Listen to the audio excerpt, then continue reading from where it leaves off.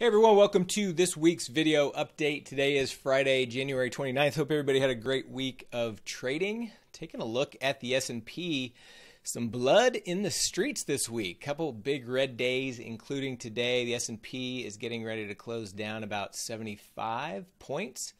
Uh, if we look at the other indices, you've got the Dow down 638 today, Nasdaq down 279, and the Russell down 33. So the market's getting ready to close uh, here in just a second. And so, uh, what's going on here? Well, you know, keep in mind from a perspective, uh, if if I look at year-to-date percentage, I mean, the S&P is is still positive for the year. Uh, you know, we're only four percent off of the all-time highs in the market. So uh, yeah, it, it, feels like a big drop. I mean, these are two big red days, uh, but you got to keep it in perspective too. I mean, this could just be a little dip, and we could rip back higher. Now, uh, I think a little damage might have been done here. I mean, we tried to bounce on Thursday, and then we rolled back over, so we may see some more legs to the downside. You know, I don't think this is COVID crash 2.0 where we're going to be down 30, 40 percent. Uh, but you know, being down four percent now, I mean, having another little drop, another four, five percent, being down eight to ten percent is is certainly not out of the question. Uh, we we are prepared for this. I mean, we've got a little bit of short delta in our portfolio, and where we sit after today is we're a little bit less than one to one on our short delta versus our theta ratio. I was considering adding a little short here just in case this did roll over. Didn't end up doing it. Wanted to see if it was because it was a pretty solid bounce until the end of the day uh, we did in fact roll over. So I didn't get any ex- extra short delta on, but you know we're still the the the account's still positive even you know with down days like this. So that is a that is a good thing. Uh, so make you know just make sure that you're comfortable with the amount of risk that you have on or the amount of hedge that you have on. Uh, we've got several verticals that I'll go through here today that, that are helping with that. Uh, and then we're continuing to add and take off and book winners uh, you know, day in, day out, week in, week out, and so that's the uh, that's the methodology here. Uh, let's take a look at the actually before we jump into the alerts, just a real quick recap of the week in day trading. Uh, weekly P&L in the mighty 90 was a little over $1,900. Uh, not not a ton of mighty 90 trades this week, only 10 trades total, uh, but only two losers, so 80% win rate, which is nice. On the runners, uh, had a couple of red days, Monday and Tuesday, just small, uh, nice runners on Thursday, uh, Wednesday and Thursday, and then uh, a red day today. So basically a scratch on the runners for the week. Uh, 20 different trades, right at 50% win rate on those. Uh, if we take a look, so the total summary for the week booked a little over 1900 on the week between the two strategies. So still continuing to do very well. Nice bounce back from last week's red week. So that's always a good thing as well. Uh, all right, let's jump into the alerts for the week, starting with Monday.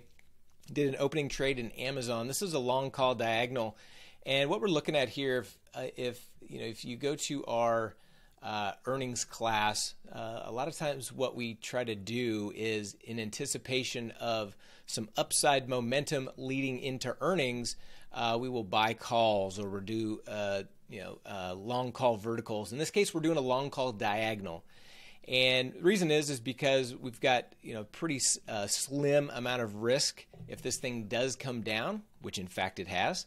Uh, but we've got a good potential if it does in fact rally into the uh, rally into the earnings announcement, along with a, uh, a spike in implied volatility. So if we look at our Amazon position here, uh, you can see we're down a couple hundred dollars. But you know even after a week like this, where we've seen this massive, pretty sizable downside move, you know we're still in a, a, situation where you know if this thing just bounces a little bit into earnings, which in this case Amazon announces earnings on uh, February second. You know, so we've got a few days next week where where this thing might be able to bounce and we can still book a profit, but we shall see what happens there. Uh, next alert was Facebook closing trade. So this was a long call diagonal uh, that we did in Facebook, kind of a similar situation. On this one, we booked over 100% profit. Uh, on this piece, we had we had two different contracts. We booked half uh, last week, and then we took the the remainder off this week uh, for a nice profit overall in Facebook. Did a closing trade in SPX. This was an iron duck. This was when price was still higher before it fell. Uh, ran up the beak, so we closed it out. Booked a booked a beak profit on that one. Uh, Facebook closing trade. So we also did a pre-earnings long strangle in in Facebook, and at, when it did have the the up move, we were able to book this for small profit. I think we booked about 10% profit on it, so no big deal. We're, we were targeting about 20, but on this up move, I didn't want to give back any profits, and so we went ahead and just took our money and ran, which ended up obviously in hindsight being a good thing because we took it off when when price was up here. Had we held it, uh, price rolled over, and we would not have uh, we not have booked that. Now we did have earnings uh, coming up too, so that helped. We we we don't want to hold these through earnings, and so that was a whole anticipation is this run up into earnings, which did happen in Facebook, and so uh, those both worked out very well for us. Uh, Tesla opening trade. So this was a earnings iron duck that we put on in Tesla. Uh, this was a little frustrating today because we were right smack dab in the middle of the duck head, hoping for a max profit of six uh, seven sixteen. Unfortunately, obviously, if you're watching the markets today, you know uh, what happened. I mean, the whole the whole entire market uh, came down and took Tesla with it. So Tesla moved down, ended up down five percent. I mean, it took a five percent move lower in Tesla uh, to create a loss for us on this. And so I had uh, this conversation a little bit with a few folks in the community today. Is you know why you know some of the questions was it's kind of like why didn't you take it off earlier when you know you're over 50% of max profit? The reason is when we trade iron ducks, the whole the whole premise of it is obviously just like a lot of our strategies. We are playing the probabilities. So you you you know if price runs higher, you're booking these small beak profits, beak profits, beak profits. That's the most common thing that you're going to do, and and those are nice, right? You book them, and and uh, you know so you have no risk to the upside. But you've got if if price comes down and it's come down in that duckhead area, you can't just you can't take it off early. And the reason is, is because if you get in the habit of always closing it out at 30% of max profit or 50% of max profit because you're scared it might go down too far, well then overall your P&L overall will be much less if not negative overall because what happens is you've got to you've got to book those big winners to to compensate for for the risk involved as well so the way that we have the criteria set up for the iron duck is to maximize profits over time you know there are going to be situations like this where the whole market falls apart drags this in particular stock down with it, and we ended up having to take a loss on this trade where we are where we did have a nice profit earlier in the day or, or yesterday.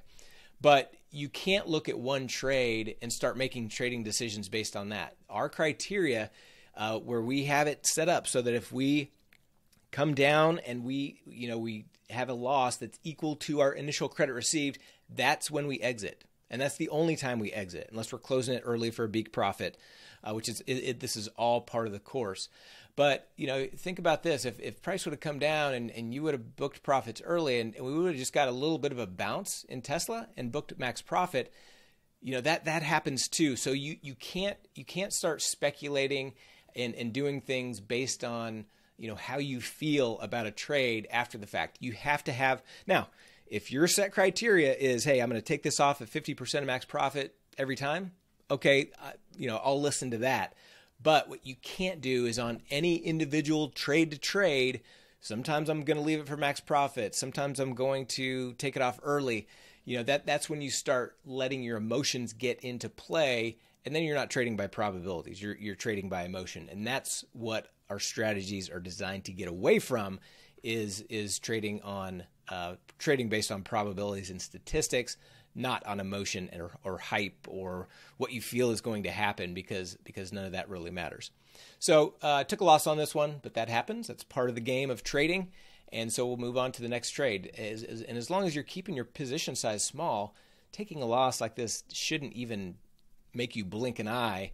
Uh, because you know you're going to take losses like this, but over time you're going to maximize your profits by using the criteria that we've developed of when to take it off, when to leave it on, that kind of thing. So hopefully that helps. Uh, let's take a look at RUT. Did an opening trade in RUT uh, when as price was coming down. We put on an iron duck in RUT. Did this one with 16 days to expiration. Uh, it's now at 14, I believe. So you can see prices just starting to come into the duck head. So we still got a lot of room to the downside if this market does continue continue lower. Uh, we got 14 days left on this, so hopefully price kind of stays in our range, and we're able to book a nice profit on that one. Next trade, Microsoft opening trade. So in this one, uh, we did what's called a ratio double diagonal, and I and I added a link to a little video because we don't have a specific course on ratio double diagonals.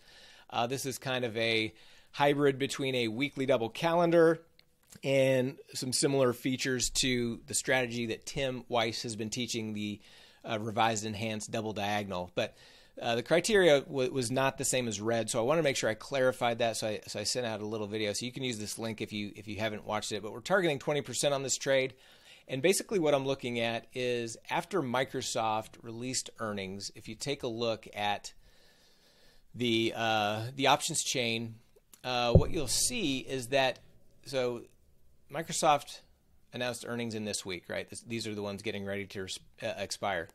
Well, if you look at in the very next week, a lot of times those options will still be elevated after the earnings were announced. And so what we wanted to do is we wanted to sell those because we we knew or we assume in a normal situation those front week options are going to start decaying faster than some of these further dated options. So, and you can see what happened. That that's exactly what has happened. Where this was at like 38% and this was at 36 when we put it on. Well, now this is at 36 and this is still at 36. So these options decayed faster than these. And so by by doing that, we put this on uh, with a. It's actually a calendar on the call side. You can see the 245 calendar uh, on the call side, and then the uh, put diagonal on the put side, the 225, 230 puts. And so here's where we're at right now. Uh, we're up about 138-ish dollars. Uh, max capital, max risk here is 1405. So we're up about 10% on this. Uh, really targeting about a 20% return on capital. So if we move through time, if we take this off a day before expiration, which would be this day here, uh, you know, looking to you know book somewhere around 230 240 and this is you know obviously volatility and price is going to change in a lot of different factors but if it stayed right here that's kind of uh, what we're doing is we're targeting about 20% return. Now obviously if it moves a little bit higher on that day we can book a lot more. If it moves lower in price could be less uh, but that is the plan uh, with this trade. So we'll be looking at more of these. Um, you know i was looking at potentially do one on apple or facebook but you want to do these on a day when, uh, just like a double calendar, you want to do it on a day when implied volatility is contracting or prices going higher. Obviously, with today's massive down move and implied volatility spiking, I didn't want to put one on today. We may look at one uh, next week on one of those other stocks that has just uh, just announced earnings, and we've got some others coming up. We've got Amazon coming up and a couple other big ones. So might have some potential on those as well. So look for that in uh, next week after those companies announce earnings. Next trade, SPX opening trade. This is a weekly double calendar. Put this on with eight days to expiration, uh, 11 in the back week. So if we take a look at SPX, uh, this is an iron duck that we have that expires next week. This one's right in the duck head, so hopefully we can hold there and potentially book a book a nice profit there. The weekly double calendar is this one here. And you can see after today's down move, prices come uh, down, not you know just out of center here, but still well within range. So if we if we can stay here and uh, and take this off the day before or the day of of uh, expiration, uh, we'll you know book a nice profit if it stays in range. And then uh, lastly, while we're here on SPX, let's take a look at the other iron duck that we put on today. This is uh, pretty close to where we just put it on. It's in the beak here, so got a lot of room to the downside here with this one that expires on 213. Uh, even with the move lower that we've seen today, still have a 82% uh, chance uh, of probability of profit on that one. Next trade, SPX uh, weekly double calendar. So we had another weekly double calendar on this one. Booked a really nice profit. Book, booked over 50% uh, profit on that trade. We took that off with one day to expiration and uh, booked a really nice profit on that one. Uh, SPX opening trade. So this is a iron duck that we put on with 14 days. That's the one that I just showed you. And, and lastly, Tesla. This is that closing earnings iron duck that I already mentioned. So let's take a look at some of these other positions. We've got ES, which has got a, a long put vertical. You can see with this price move down, we're now up over $577, $550 on uh, on this trade. Uh, if this continues to move down a little bit into next week, we'll go ahead and roll this out to the next cycle.